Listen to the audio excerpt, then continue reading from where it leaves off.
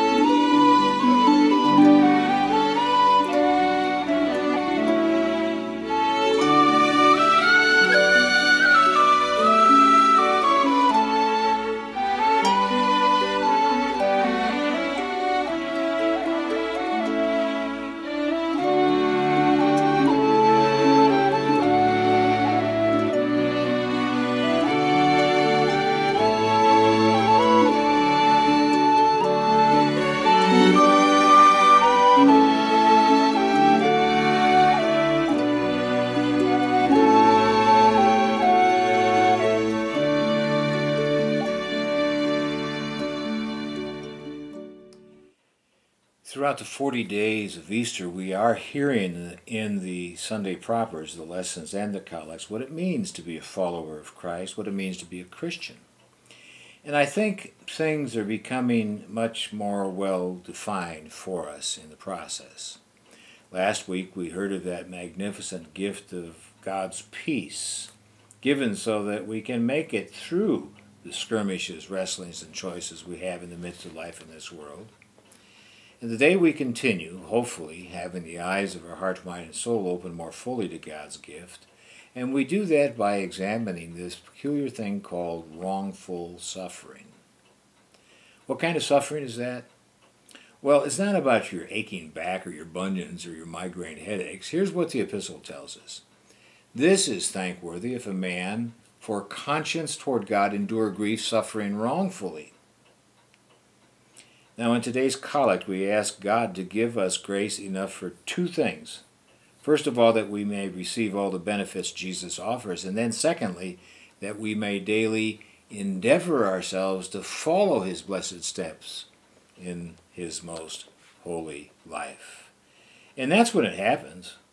When we follow Jesus, we will suffer wrongfully for his sake in the Gospels.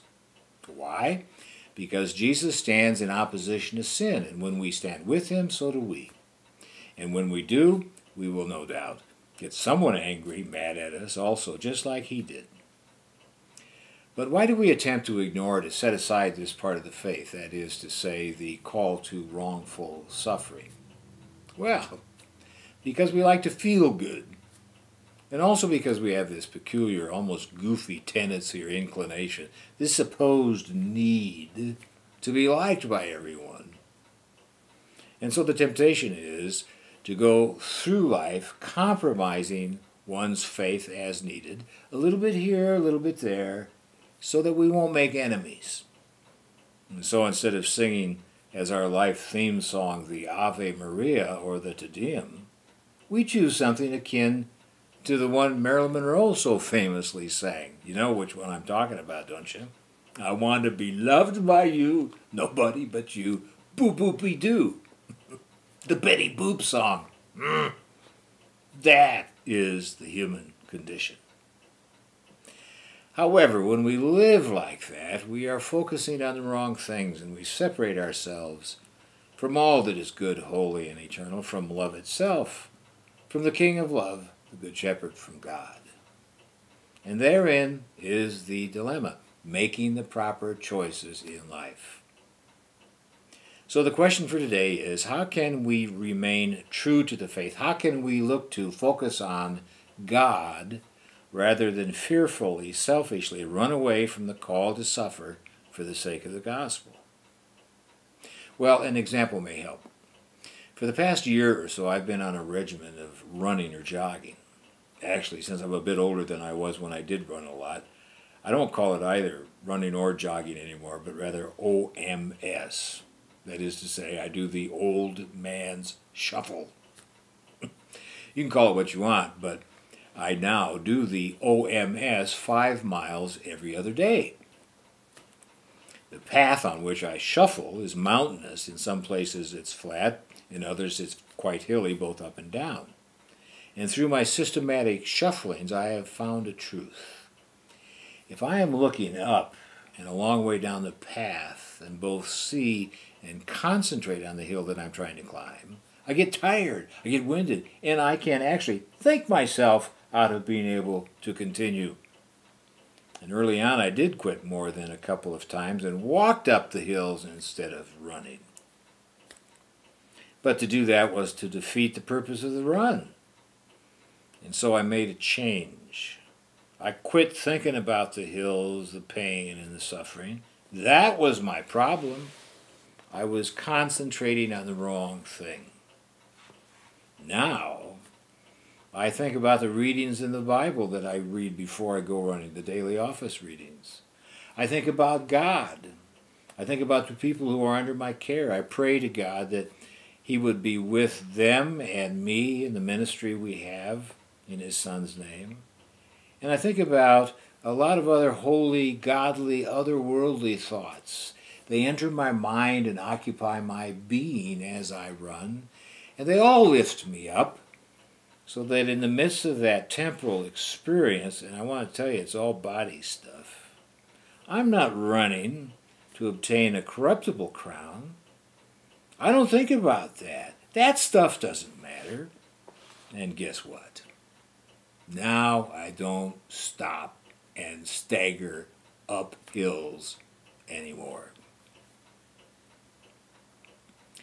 Listen, that's how we make it through wrongful suffering instead of copping out of it.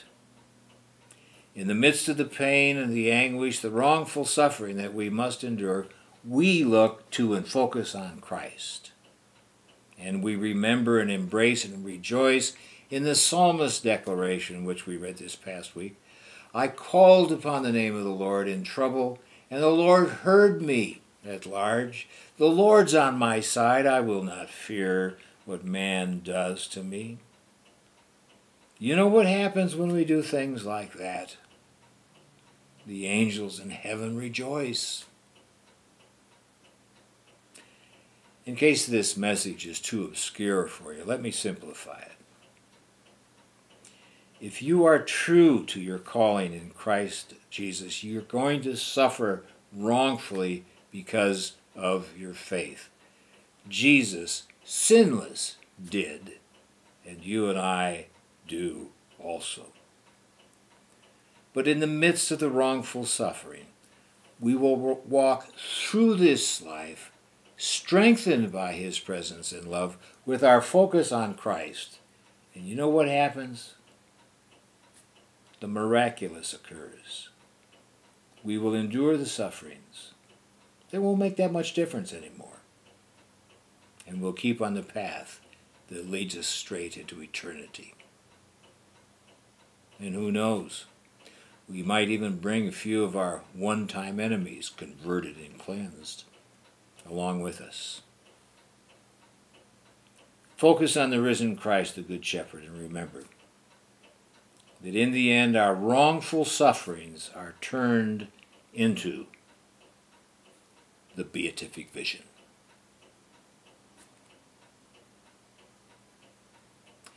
See you next week.